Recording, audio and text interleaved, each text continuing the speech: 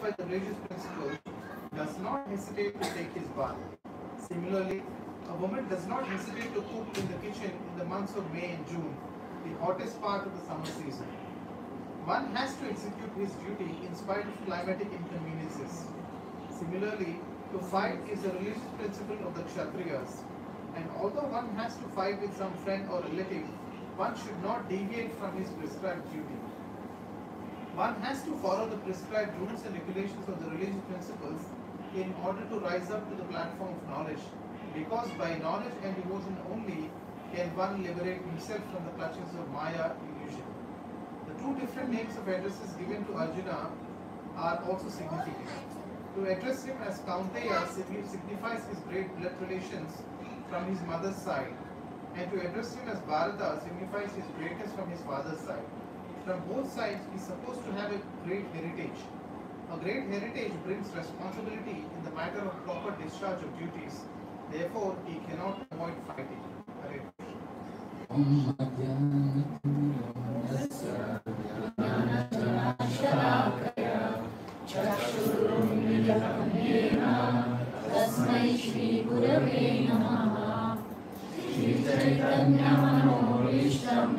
स्थापितं येन भूतले स्वयं रूपा कदा मह्यं ददाति स्वपदान्तिकम् वन्देऽहं श्रीगुरो श्रीयुतमतमम् श्रीगुरुं वैष्णवांश्च, श्रीरूपं साग्रजातं सहगणरघुनाथपण्डितं सावैकं सावधूतं हरिजनसहितं कृष्णचैतन्यदेवं। श्रीराधाकृष्णपादान् सहगणललिता श्रीविशाखान्वितांश्च हे कृष्णा करुणा सिन्धो दीनबन्धो जगत्पते गोपेश, गोपिका, Kanta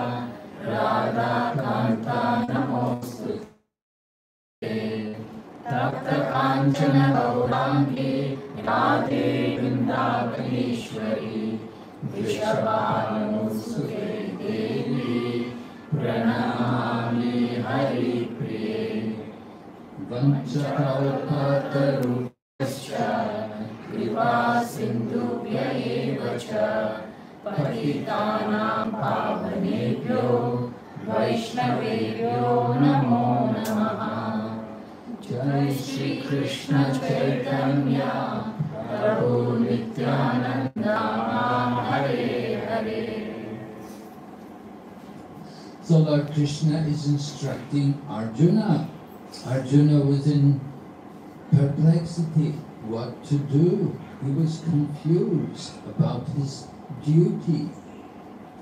His duty being, should he fight? He was thinking "Hmm, maybe he shouldn't fight.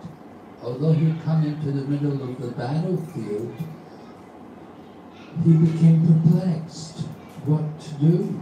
How could he fight against people who were worthy of his worship? Bhishma, Drona, people who he loved and respected, family members, relatives. So he was confused. He was confused. Making decisions is something which we all get confused with sometimes. Did I do the right thing? What to do? Should I have done it? Should I have gone there or should I have stayed where I was? You know? We're faced with these kind of decisions all the time, making decisions. So Arjuna was very fortunate because he had Lord Krishna with him and he took advantage of the situation to ask Krishna to please instruct him. The famous line is there in the verse, Shikshasti ham sadimam tvam. That now I am your disciple and a soul surrendered unto you. Please instruct me. Instructions.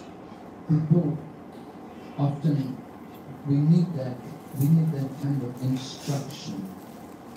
And we need to get instruction from the right person, from Krishna's representatives. You can see nice representatives of Krishna posted here on our walls. So, when we're fortunate, we get the instruction from great personalities.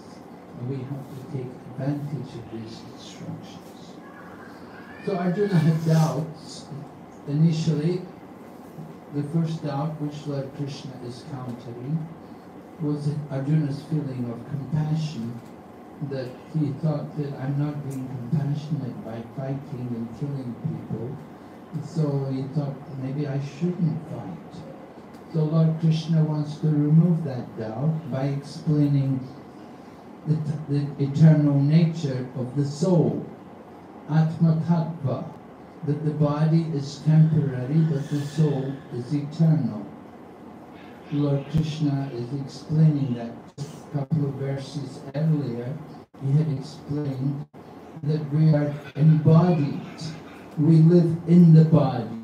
We're not the body, but we live in the body. Just like we live in an apartment or you ride in a motor car. You don't become the motor car. You don't become the apartment. We live in the apartment. We ride in the motor car. And in the same way, we live in the body.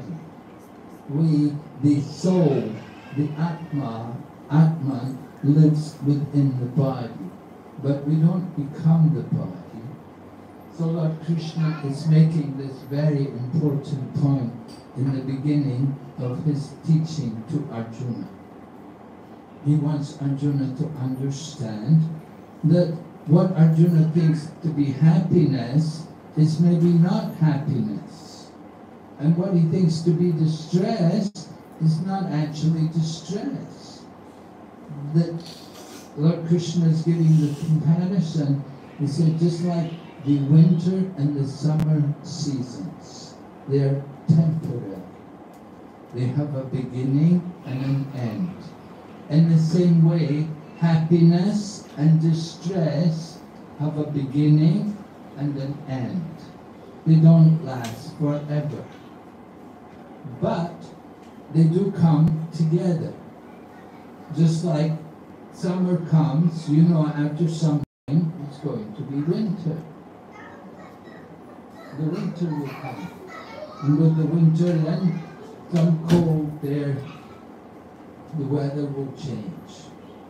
We want to understand the temporary nature of happiness and distress, that they're not eternal, and they come together, just like two sides of a coin. Hmm, Sometimes you see people at the beginning of the hockey match, they will toss a coin. The referee has a coin, toss a coin, heads or tails. You, know, so there's, there's two sides, but they're always there's the, the top side and the bottom side, or the cricket bat. You toss the cricket bat. Two sides. There's the top side and the bottom side. So there's happiness and there's distress, and they come together. You get some happiness, and then after some time, you get distress.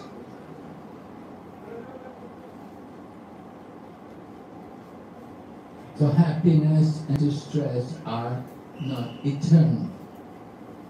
What is required what is that we have to be tolerant. We have to cultivate this very, very important quality of tolerance, tatiksha. Comes tatikshas for Bharata. Hmm? So this is one of the important qualities which is required as devotees. We are also expected to be tolerant. Tatikshava Karunika Suridam Sarvadehinam. In Srimad Bhagavatam, the qualities of the sadhu are described. Devahuti had lost her husband. Her husband had gone off and left her in the care of her divine son, Lord Kapila. So Devahuti wants to get help in her perplexity. She's looking for guidance. Lord Kapila tells his mother, you have to take shelter, you have to take the guidance of a sadhu. And how to recognize a sadhu? Not by the external appearance, not by the cloth or the hair or the markings on the body or whatever he's got round his neck, but by the qualities.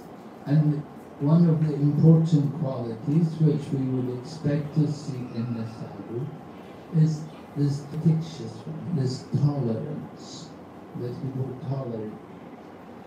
Uh, Prabhupada gives a couple of examples here in the purport. One is taking bath. Now here in Singapore, of course, we don't have much of a winter. So it's not very difficult to take bath. In fact, it's a pleasure to be able to bathe here in Singapore. It's something you take pleasure in having a good shower and bathing.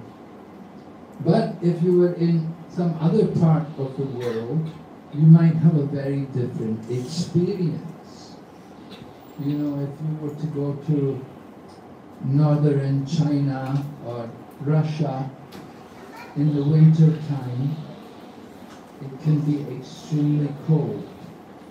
And there are many people also, they don't have running water. Not everywhere do they have, uh, you know, pipes with water running. You just open the tap and water comes. Many people are living in the countryside and their water is maybe stored in tanks and it gets very cold because the temperatures will be sub-zero. And some places it's very cold, minus 30, minus 40, like that.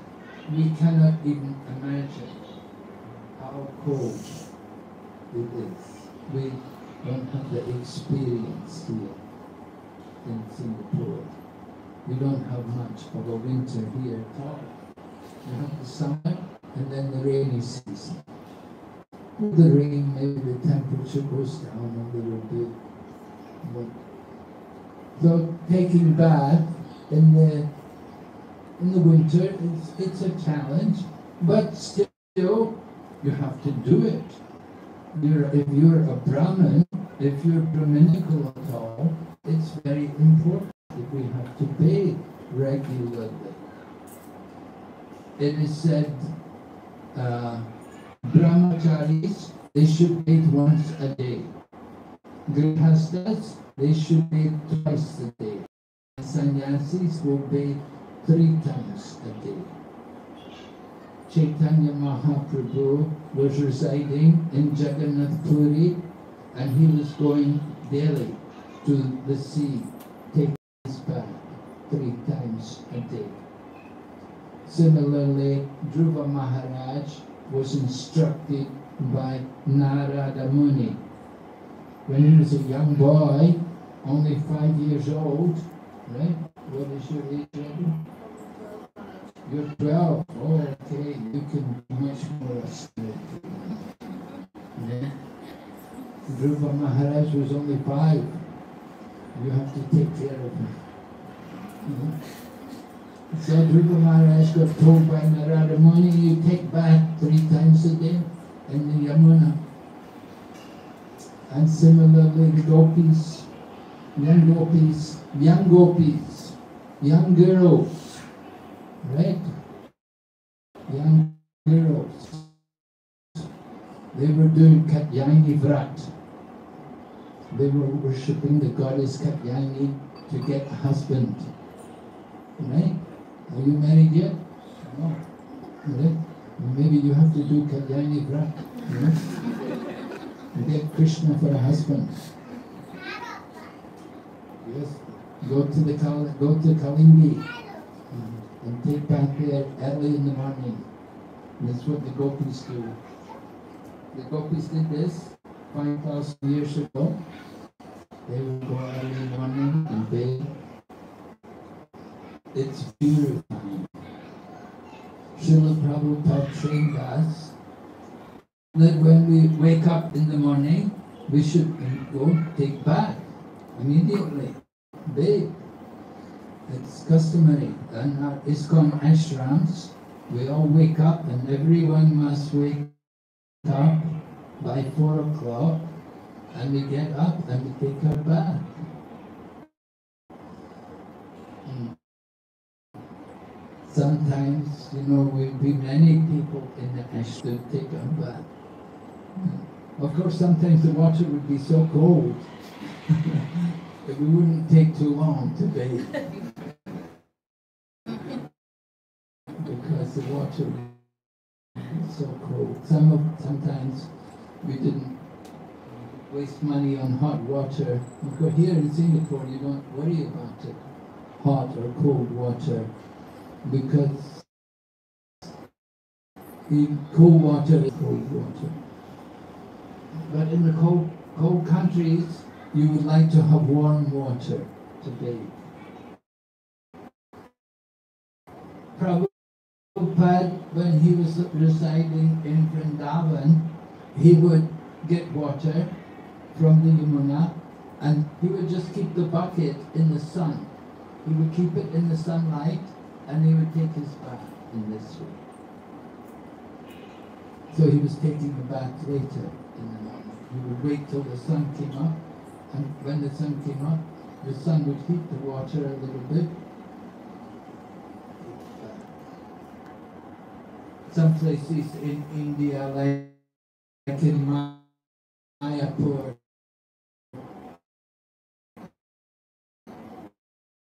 we have hand pumps.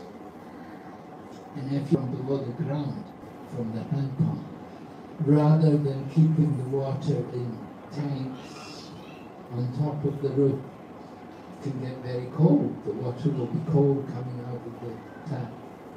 But you get the water and it's convenient for bathing.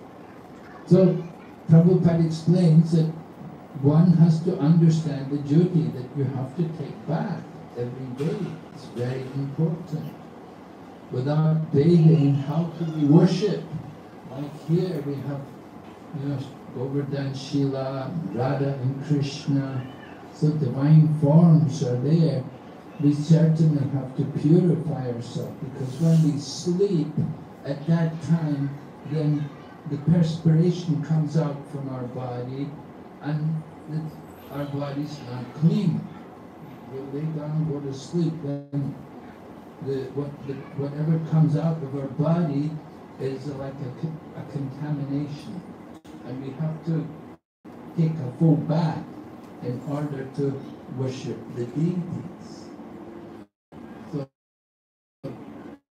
that is the duty we have to do. Have to do. You can't think, oh, it's too cold. you can't think like that. You know, you have to tolerate. The point is tolerance. This tolerance is so important. You have to do it. So without hesitating, a devotee will immediately go and bathe and he won't think about, oh, it's cold. That's the mind. On the platform of the mind, we're thinking, oh, this is good, oh, this is not good. It's the same water. In the summer or in winter, the water is the same. But in the summer, the water gives pleasure, and in the winter, the water is painful. But the purpose is the same. You have to bathe, you have to purify the body. And it's important to purify ourselves by taking full bath. Cocaine and these different things, we should be purified. Water is purified. So that was one example Prabhupada gave about the importance of bathing. The other example was about cooking. That he said in the summer it's very hot to go in the kitchen. And in the winter, if it's cold, you don't mind to go in the kitchen. It's a pleasure It's nice and warm in the kitchen. You know, you've got the stoves on, the burners are going, and so it's quite warm there in the kitchen. But in the winter, in the winter outside the kitchen, it can be cold. But in the kitchen, it's you know, pretty warm, comfortable. But in the summer, it's a problem because it's so hot. And then you're cooking as well, it's so hot.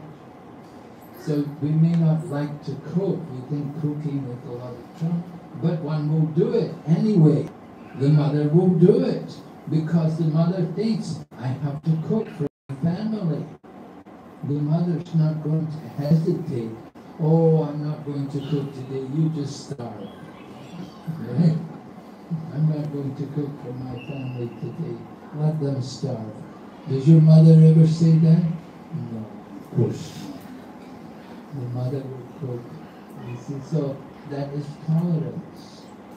So the same way, there are many things which we have to tolerate. In Lord Chaitanya's prayers, he gives the example in the third verse. He talks about the tree, that we should be tolerant like a tree. Trinada sahishna. Tolerant like the tree. Just look at the trees, how they tolerate the heat. No matter how strong the sun is, the tree will be there and the tree will give shelter and shade to us. We can be under the tree and be sheltered from the heat of the sun. And in the winter, the tree is there again, tolerating the cold and the wind and the rain. We can take shelter again from these things under the tree. The tree gives shelter, but it, it takes, it, it, the tree itself is exposed to the elements. So trees are so tolerant and they're so merciful as well that they give flowers and fruit as well as shelter. They're doing so many nice activities. They're offering themselves in the service of others. So Lord, Lord Krishna explained how magnanimous the trees are, that they can tolerate so much and at the same time give service to others. So being tolerant is something which as devotees we're often challenged in. Sometimes in the course of our preaching we will be we will be required to be tolerant.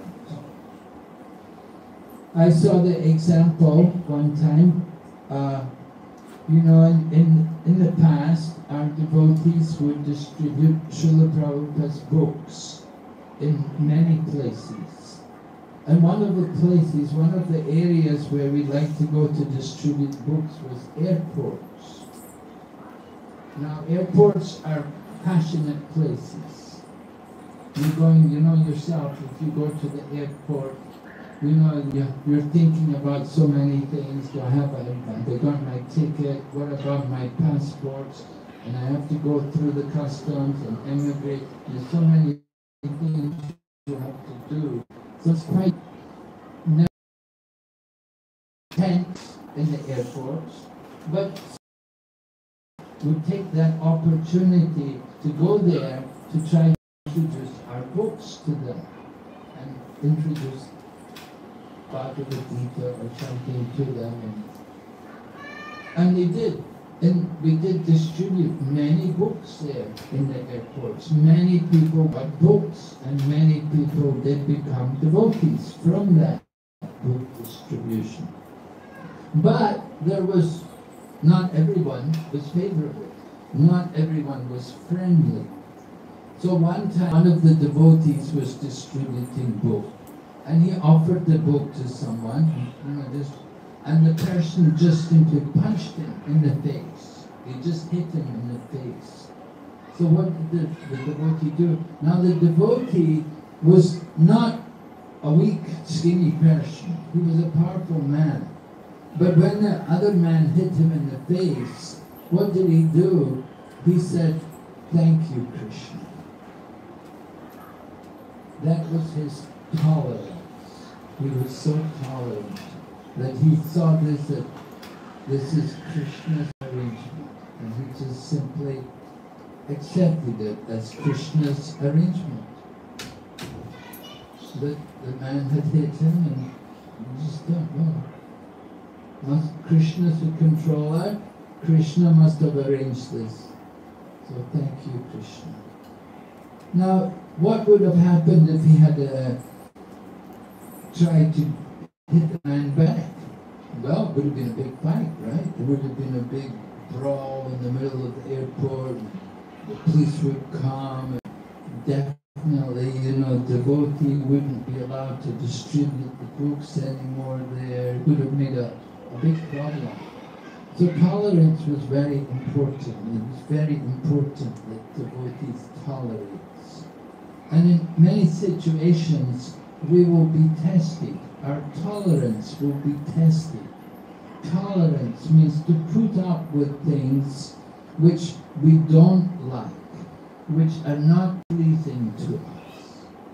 But we put up with them. Why? Because it's part of our duty. It's our duty as devotees to be tolerant. Srila Prabhupada was riding in an airplane. They were going, I think it was uh, Kenya. So there was some African football team on the plane. And of course it's a no smoking flight, but one man who was with this football team, he was smoking, smoking cigarette, and he was sitting just near to Prabhupada. So, the, the, you know, they requested the man, please, you know, don't smoke. He said, no smoking flight. And even the air steward, stewardess also came, and she told the man, oh, you cannot smoke. This is a no smoking flight. Please put this cigarette on.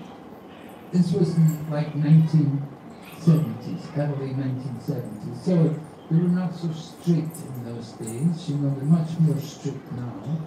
But in those days, people got away with it. So this man, he, this air hostess told him, put, put out your seat. So he put it out. Two minutes later, lit it up again. The, the air stewardess had gone away. So he lit up the cigarette. So the, the devotee who was with Srila Prabhupada angry and he stood up and he was going to go over there he was going to you know, really have it out with that man, you know. But Prabhupada stopped him and Prabhupada held him and said, if you cannot tolerate, what is the difference between us and them? This is what Prabhupada said to me. If you cannot tolerate, then what is the difference between us and them? They cannot tolerate. We should tolerate. Why? Because we are devotees of Lord Krishna. We are devotees, and devotees should have that quality of tolerance. We have, we have to tolerate. And just like we tolerate the winter and the summer, we have to tolerate happiness and distress. There will be happiness, but there will also be distress. You have to learn to put up with it and not be discouraged. It's very important for us to cultivate this kind of, now how to tolerate? What do we well, I'm not very tolerant, you know, I, I, some people get very angry easily.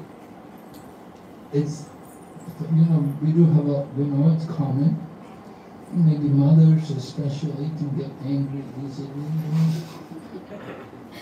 Not only mothers, you know, men also get angry easily. What, now how can we overcome this anger? What we have to do we have to take shelter of the holy name. you take shelter of the chanting of the holy name.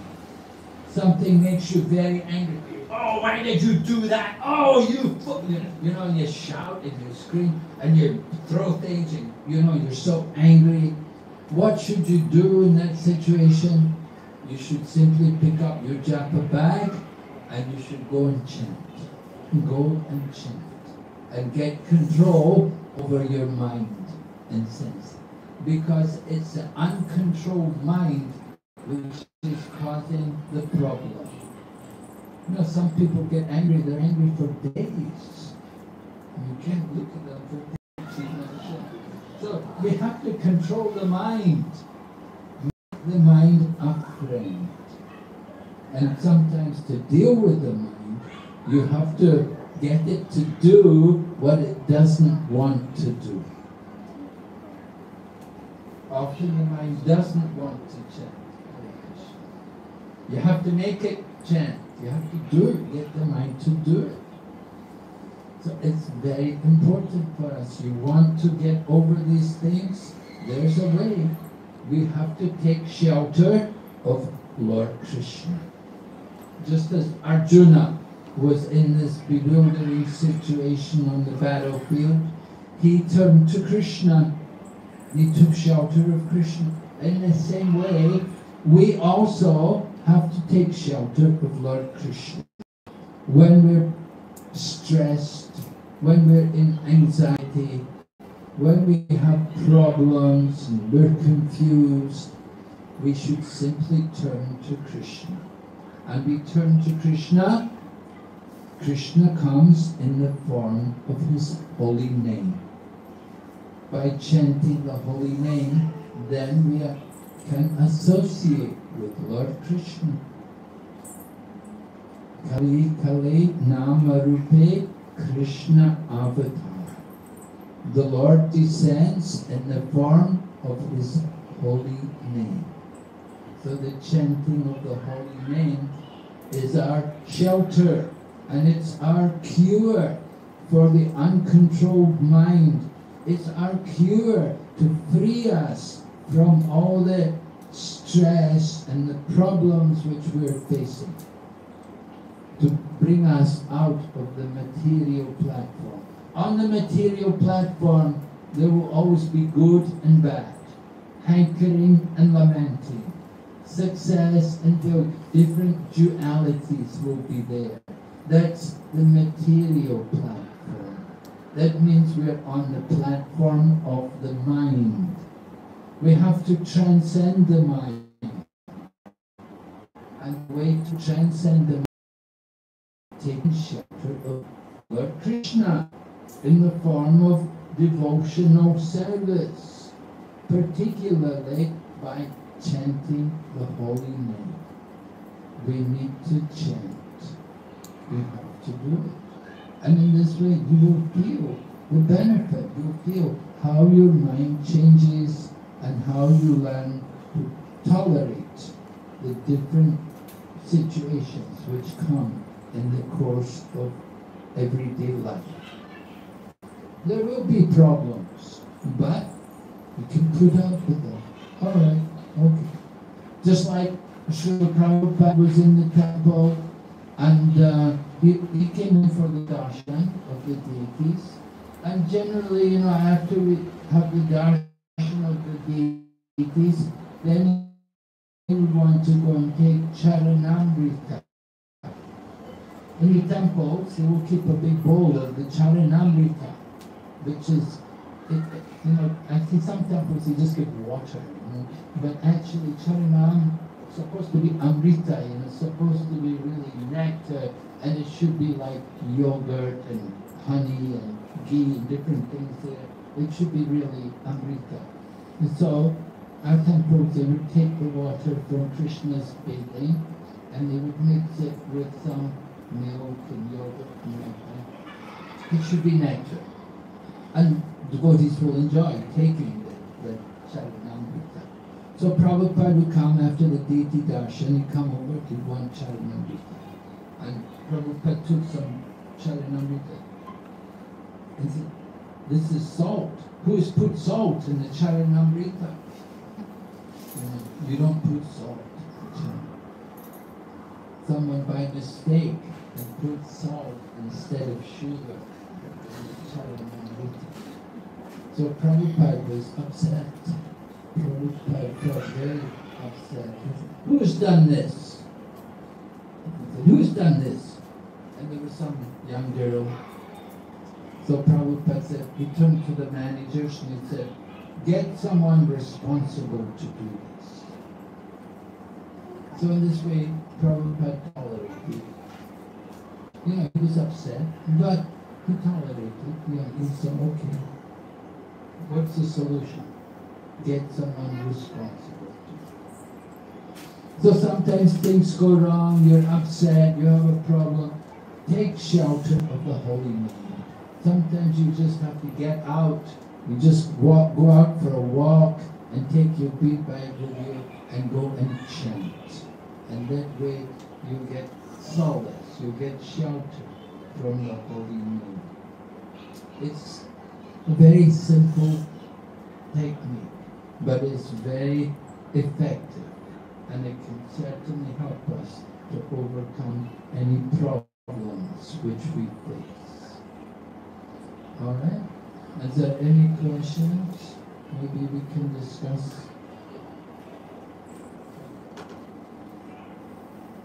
Everybody chanting? Yes? Are you chanting? Yes? Yadu, are you chanting? Yadu.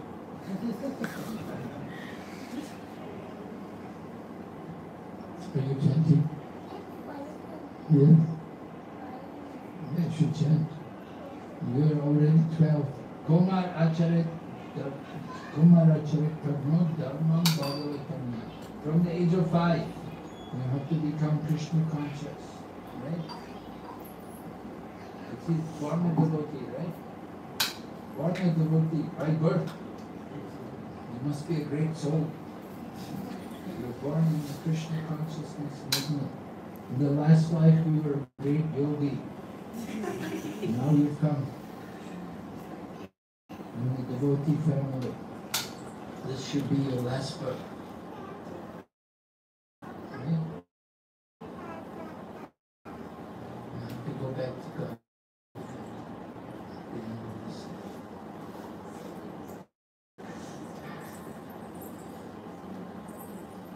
Not difficult. You're so fortunate. Your whole life has been Krishna conscious.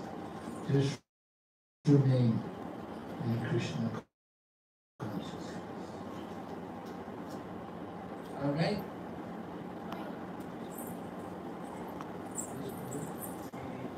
This might be aspect of the outside world. They see, like you gave the example of the book distributor, you know, getting a punch and leave, not doing anything. So when kids ask us, uh, you know, when they are, when they when their peers in the school, they see that they are so, you know, sattvic or you know, they, they, they behave very humbly. So they are kind of exploited, the kids. And when they ask us, what should we do? Should we just bear with it or should we you know, should we react or, or do we just get, you know, kind of overpowered by our peers? So how do we answer or how do we guide kids? Call Yadu. Yadu's my friend. Yadu's no, he's no little guy. He's a powerful guy. What's it, uh, yes. Narad, uh, Narada Muni had a disciple who was a snake. So the snake had become a devotee. Narada told the snake, now you're a devotee, you cannot bite anybody. So the snake said, all right, I won't bite anyone anymore. So then the snake went away, but then the children were playing and they saw that this snake doesn't bite anyone. So they began to tease the snake and they began to throw things at the snake and they, they made life very miserable for the snake. So when Narada Muni came back next time, the snake came to see Narada Muni and said, you know, you told me I couldn't bite anyone, but it's so difficult. They're all making my life so miserable. All these children are giving me so much trouble all the time. So Narada Muni said, I said you couldn't bite, but it doesn't mean you cannot show your teeth to them. So the snake understood that he would make tend to bite them. So the children came and, and the snake rose up, you know, open, like it's going to bite. Oh, the children, oh, oh, they ran away. So this way, sometimes you have to, you have to make a show, put on a show.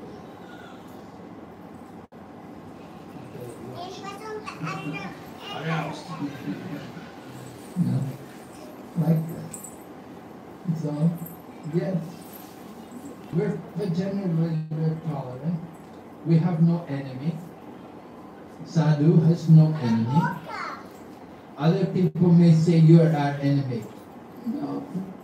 You may think I'm your enemy. I don't think you're my enemy. I, we don't think like that. We see everyone equal. They may say we are the enemy. We're, but we don't think of anybody else as being our enemy. We see everyone equal. We're tolerant. And we do our best to try to help everyone, to give them Krishna consciousness. Hmm. At the same time, we have to protect ourselves from being exploited or being abused. So Krishna will give us intelligence, how to deal with the situation. We pray to Krishna to guide us. According to time and the place and the circumstances, will act different ways. Whatever is required, do whatever is required. I was reading Vyasaki's book. Vyasaki Prabhu wrote a book about Radha Damodar Vilas. Was the pastimes of Radha Damodar. So he was describing about the Radha Damodar deities and how in the beginning they were with a, a devotee, there was a very nice devotee, Vishnu Jana Swami. So Vishnu Jana Swami, he was, they were having a, a program, they would go to the university in Berkeley. The University of California is there in Berkeley. And uh, very big university. And they had a table there and they were giving out prasadam and they were doing kirtan and everything. And some, some people got envious because they were trying to sell things. You know, we were giving prasadam and they were trying to sell their stuff, you know, and they didn't want us to be there. So, you know, they tried to get rid of us by different ways. But Vishnu Jana Swami, he was a big guy, quite tall, you know, and he was a sannyasi, had his danda. so when they tried to do something, you know, he just grabbed his danda, you know, and he was big, and, you know, and they were afraid of him, you know. So just by his uh, demeanor, just by his appearance, you know, he could frighten people away. and he could protect the devotee situation so that they could go on and do their preaching.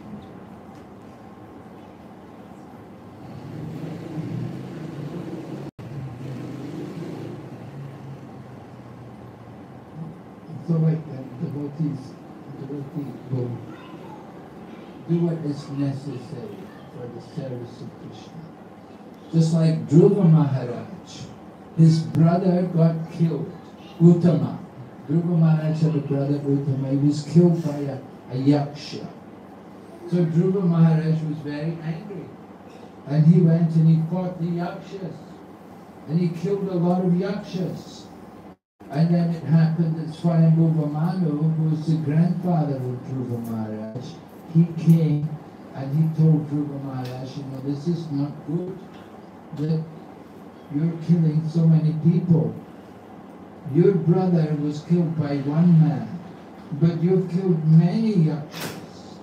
In your, in your mood to retaliate, to take revenge, you've killed many people.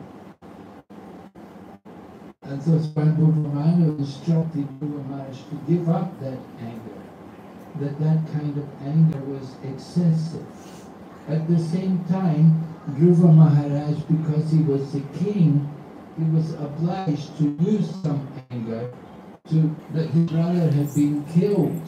So that indicated there was some uh, irreligion there, there was some problem there, there was some need to establish the proper law and order. So sometimes violence is necessary. It's not that all violence is wrong. We are not like the Buddhists. For them, ahimsa is the supreme principle of religion. But in the Krishna conscious teaching, violence is a sub, non-violence, ahimsa, is a sub-religious principle. It's not the highest principle of religion.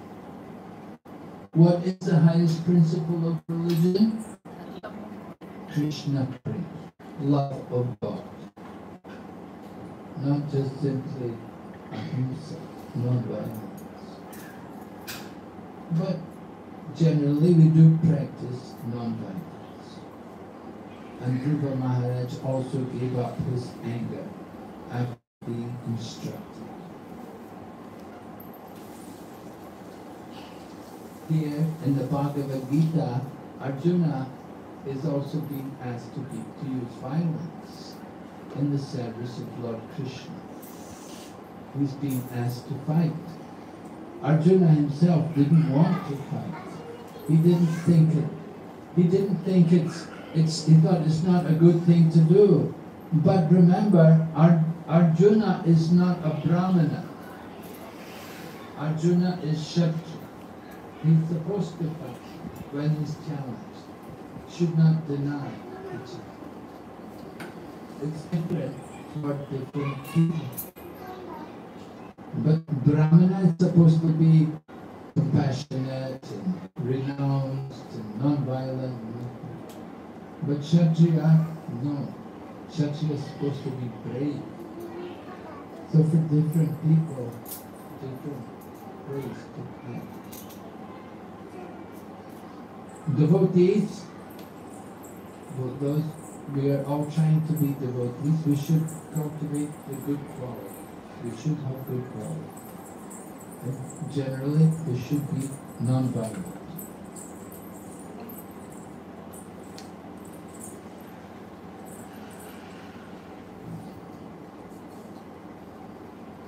So these are some uh, issues.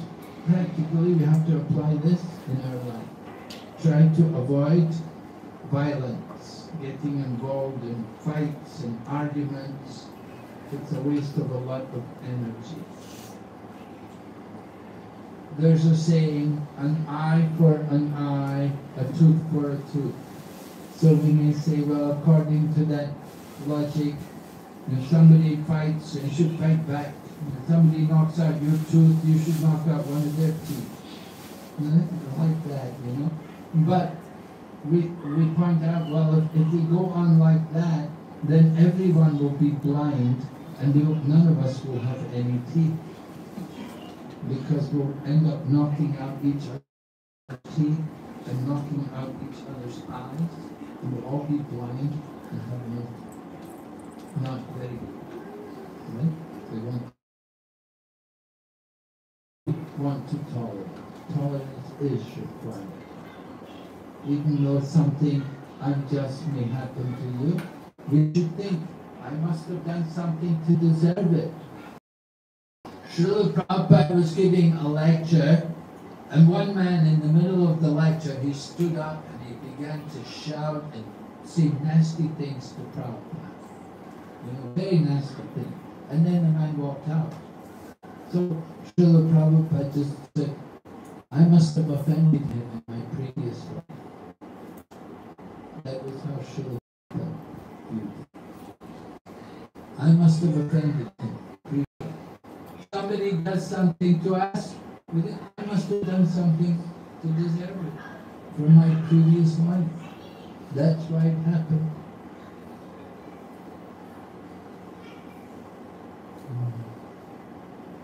Somebody speaks harsh words to us, we should thank them. Thank you, Prabhu. Very, very, very nice. Very nice of you to instruct me. Don't get upset. Don't why he spoke so bad to me. Tolerant like the tree. The problem is our ahankar, the false ego. So our false ego should, the dimension of the ego should be the same dimension as the soul. You know the dimension of the soul? One hundredth of one hundredth of the tip of a hair. Tip of a hair. You know how small it is? Very small. So one hundredth one hundredth of that of. Our ego should be of that dimension. Our ego should not be the dimension of, you know, six feet, 200 kilos or whatever.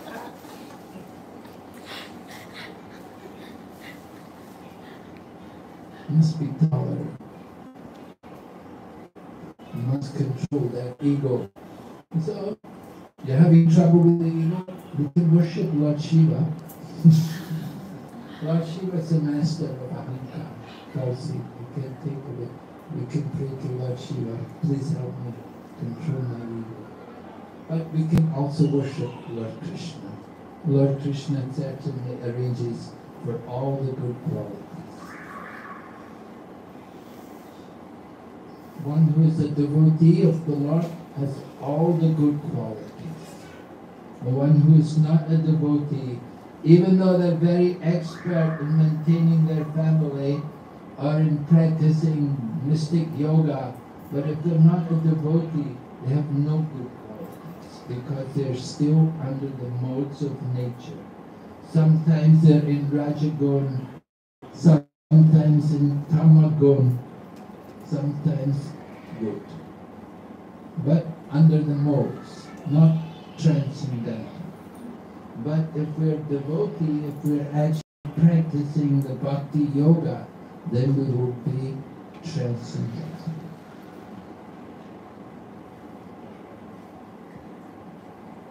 Okay? Hare Krishna. Yes, Prabhu, you have a question? Maharaj, thank you for class. This is one of my favorite words also. So it's quite practical and thanks for explaining it. So Maharaj, like uh, just one question, like uh, suppose like anger, right? So it is a controlled anger, anger. Does it has uh, any impact on our consciousness? Like suppose we are, we know that we are our kid is there and we have to scold or shout or because to just get help, get to get in control. So if we have, we have to raise our voice. So does it has any negative impact on our consciousness Well, if we don't control it, then it will have an effect on our consciousness. If we don't control, if we don't to control these things, then certainly our consciousness will be lowered. And will be lowered into the modes of passion and ignorance. So it is very important for us to overcome these kind of emotions, these feelings which arise in us. The anger, the tension, even the happiness, as well as the distress. Some people say, well, when I'm in distress, it's easy to think of God. When I'm happy, I think of my money.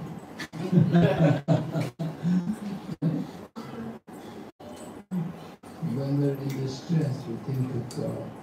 So when we're in, when we're happy, we should also think this is of Krishna. In every situation, we have to train our minds to see it as the mercy of Krishna. We should think Krishna has given me this money. He just wants to encourage me. I don't deserve it, but he's just encouraging me.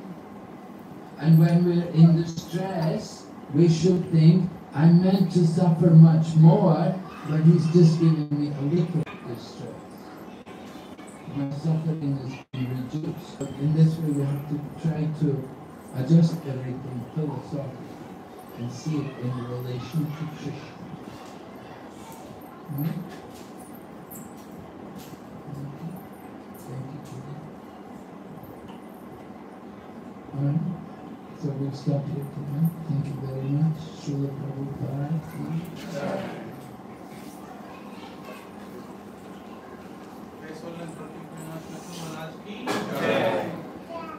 Guru Bhakti Vrinda ki I think I speak on behalf of everyone. We're so fortunate to have Maharaj here. Uh, This 240, many of us know this verse, but hearing it from Maharaj gives us a very different dimension. There's one point Maharaj made that he was quoting from scriptures that we have to be instructed by great personalities. And in his utmost humility, Maharaj was uh, looking at Bhaktisiddhanta Saraswati Thakur, Prabhupada, but he never mentioned himself, of course. But for us, we have to approach a living sadhu. And Maharaj is here with us, and we have to be instructed by him. Prabhupada is there, books are there, but without exalted devotees like Maharaj, even Prabhupada's books are lost to us. So Maharaj continues to speak about Krishna. Every day, he's been in Singapore, every single day Maharaj has been speaking about Krishna. In his advanced age, he's been coming. This may be looking like a simple house, but this is how pure devotees are. Even if there's a hole, they will come in, they will penetrate our hearts, they will give their body, mind, and soul to teach Krishna consciousness. All we have to do is to just learn our way. That's all they ask. And for the next two days, Maharaj is going to continue lecture about Krishna. So tomorrow evening at the center, Maharaj is going to take the class at 5.30. He will speak about an hour, an hour and a half. So please, Krishna willing, you can come and join us to hear from Maharaj. If you're still thinking how to tolerate, you can chant. But if you want a shortcut, please associate with Maharaj. Right? Few minutes, you will learn the art of tolerance. And uh, Bhagavatam class on Sunday, Maharaj will take the class at 7.30, another one and a half hours class. So please take time. I think this is the uh, few days Maharaj is going to be here with us. Uh, please come to the center and hear from Maharaj. Any other programs or anything else, Prabhu, that you want to mention? Yeah. Um, Maharaj very kindly, you know, delays Mangal Arati at my place so that other devotees can also come. So if you are free tomorrow, you may come at 7 o'clock uh, in the morning, not too far from here. And uh, on Sunday, 5.15 at Gauranga Center for Mangal Arati. Thank you, Prabhu. So Maharaj is availing himself to us. Please come and take association. Thank you very much. Hare Krishna.